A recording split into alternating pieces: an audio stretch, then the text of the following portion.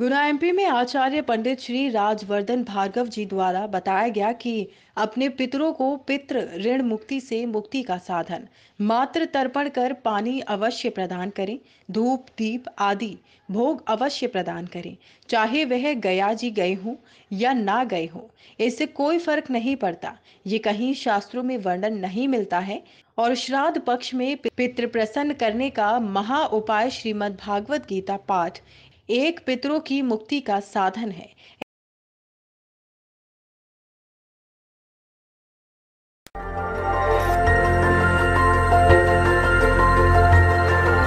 देखते रहिए डीबी भारती समाचार। नज़र हर खबर पर।